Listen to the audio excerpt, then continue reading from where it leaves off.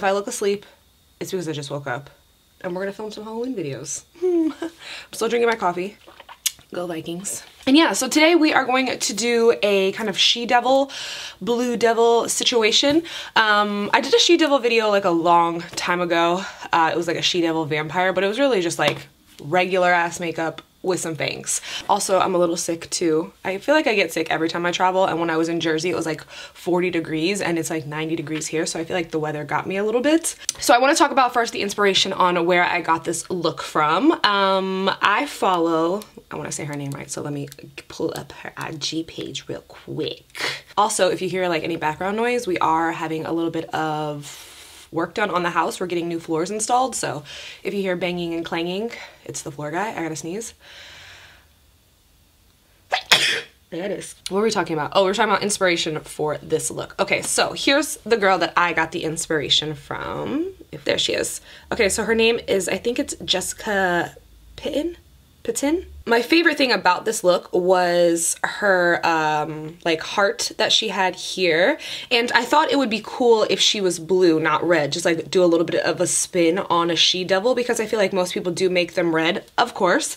Um, but I thought I would make ours blue. So this is the artist that she was inspired by. And what do I see right here? I see a little blue devil. So I scroll the page. Here is the picture that she was inspired by. And then there's a little blue devil right underneath it. So I was like, this is perfect. And I also know Crispy put up a like pinup devil the other day, which hers was red as well. And I clicked on um, Crispy's page and it was actually inspired by Amber Carr Art as well. So shout out to Amber Carr Art, Crispy, Jessica Pin, I hope I'm saying your name right, I'm so sorry if I'm not, um, for kind of giving me a little more inspiration for this look. But like I said, we are going to make ours blue today. And usually whenever I kind of have an idea for I'm feeling chatty because the coffee's kicking in. Okay um anytime I have like an idea of what I want to do I kind of google it to see if anybody else has done it so that the looks kind of don't look the same as each other you know? So I didn't find any like blue devils or anything like that just kind of that artist one. Um, but I did find one girl and I want to show you her she devil because she kind of did like a blue vibe um, and I just want to show you guys hers as well. So this is makeup Mars. Hers is really cool too so I like her like detailing on the chest and I really like the contrast between the blue and the red which I pulled blue and red to film this look for. So I just kind of wanted to give her oh no no. So I just wanted to shout out makeup Mars as well because I thought her she devil was dope. This is actually from last year this picture um, but still really cool. It's not 8.38 p.m. it is 10.57 a.m. I just wanted to let you guys know where the inspiration for this look came from. If you want to follow any of them, I will have their links in the bottom bar. All of them have really cool looks on their pages, so if you're looking for more Halloween inspiration, check them out. Maybe you'll get a little bit inspired to create something because Halloween is right around the corner. But I've always wanted to kind of do this like demony look because I feel like it's scary, but I want to make mine blue so it's not like super scary, if that makes sense. So we're gonna do a blue she-devil. We should probably get started. I've been chatting here forever. So I'm thinking that I'm going to glue just the ends of my eyebrows down so that I can give my she-devil kind of this look happening here. I feel like we've been gluing down our brows a lot. Again, it's totally optional. You do not have to glue down your brows if you do not want to. I just think it adds to the look because it kind of changes up your natural like eye situation that you've got going on here. Look at us. When I paint myself, I use these like water activated paints. So if you don't have the water activated paints, but you still kind of want to paint yourself like a whole color, you can take like an eyeshadow that you don't really use um, and kind of just scrape it off until it's like powder and then just mix it into any kind of foundation, like a lighter colored foundation, and then boom, you have like instant face paint. Plus I feel like it'll go on smoother because it is foundation.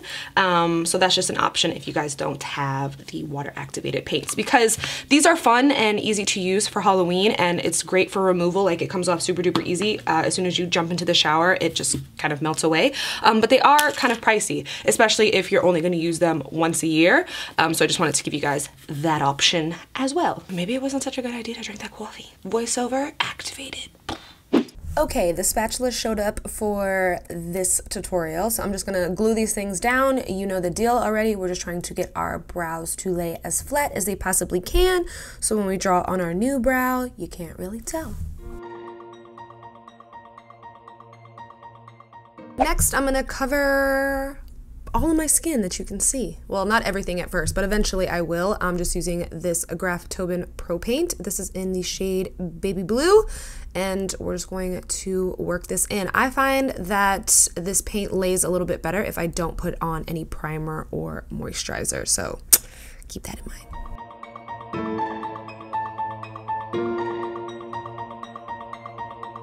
Next, using my Makeup Forever Pro palette, mine is Loved. I'm going to create a little concoction that's like a baby blue shade because the cream really helps to conceal the brows even more. So I just mixed white, dark blue, and turquoise and covered the ends of my brows and then just ran that cream color over my lids and underneath my eyes because I just feel like the eyeshadow sticks better to this. Oh, I'm showing you my horns. So they're brown, Clearly not, brown's not gonna work for us and we are going to adhere them with spirit gum. That's why I have no paint on my forehead yet.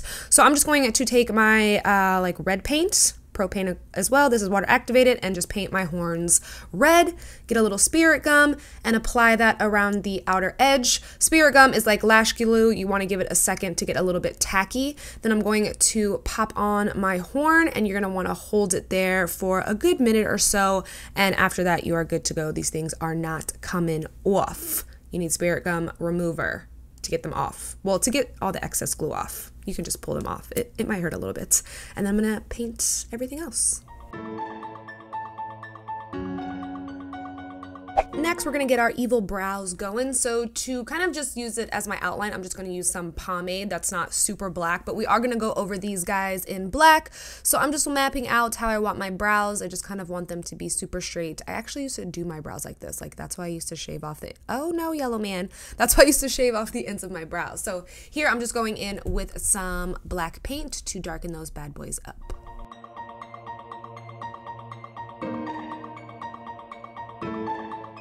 To start on the eyes, I'm going to take this red from Sugar Pill Cosmetics and just start working this in my upper crease. You guys know that I like to work a little bit of color in at a time, so this is going to be a process. I never stop working on the eyes, so I'm just going back and forth, back and forth between a small detailing brush, detailing brush, and a fluffy brush. Just kind of just kind of building that intensity as I go. Now, originally I was going to do blue on my lid, which you guys will see in a second, but I thought that I was just looking a little bit too patriotic for a she devil. So I will eventually go in and cover that blue with black. So we're to do black and red eyes. No blue. Mm -mm, not today, America.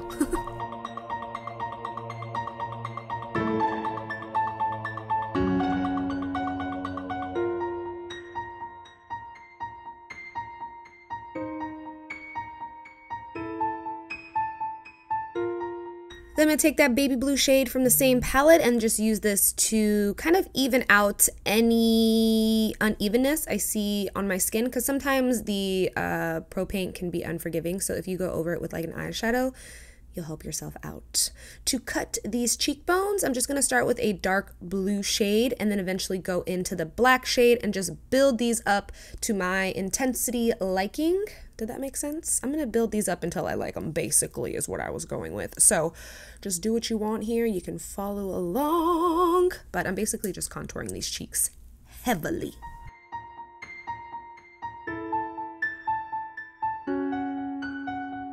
Do you guys know what you're going to be for Halloween yet? I am torn between two. I either want to be Morticia Addams or Jon Snow. What do you think? To uh, brighten me up, I'm going to use this Super White from Ben Nye. And this helps to kind of brighten that under eye area, like I said, plus soften the edges of the contour. I'm also going to go in with some red and black shadow right around the horns just to make it look like they're actually coming out of my skin and just not sitting on top of my skin. I'm sorry that it's focusing on my hand.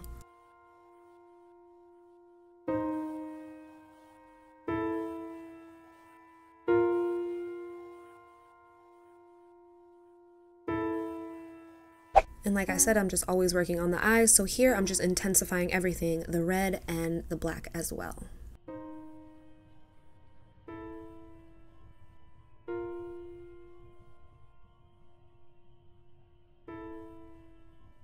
Next, we're going to take a pencil eyeliner and we're going to run this in our waterline and our top waterline as well. I'm not going to go all the way over though. I'm going to leave some space in my inner corner. And then taking a felt tip liner, I'm going to use this to kind of extend my lower lash line down a little bit and then an angled brush to really just kind of intensify and give it like a nice sharp edge. And then I'm going to buff all that out with like a red shadow. Not with like a red shadow, but with a red shadow, okay? Like, stop saying like.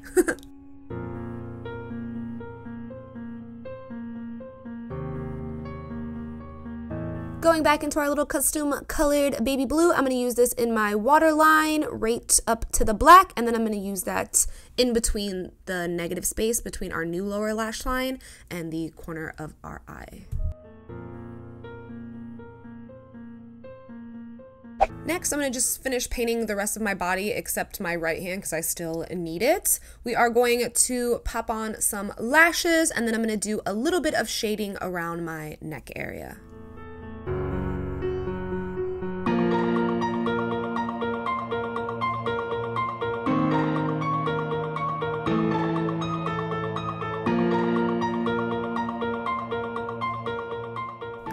Draw basically my bleeding heart um, from the Amber Carr heart, no, Amber Carr art work. Um, so if you do want to do this heart, I would definitely recommend referencing her photo because I'm halfway cut off per usual. So um, yeah, I'm just going to draw a heart and basically try to replicate what she had in the painting.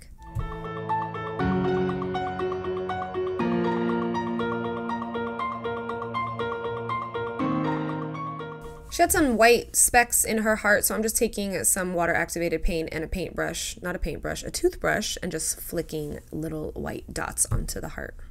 And then I'm just going to line my lips. I think I'm using cherry lip liner, but I'm not sure. Honestly, any red lip liner and lipstick will work for this.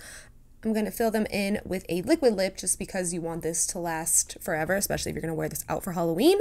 And I'm going to extend, I'm basically winging out my top lip liner. I really like doing this. I feel like it only works on me for like Halloween looks though, so I feel like I do it a lot, but I likes it. Um, Clearly, I'm starting to feel myself here. I'm going to pop in some red contacts and a wig. But other than that, this She Devil look is complete. So I hope you guys enjoyed this one. I love you guys. And I will see you in the next Halloween look.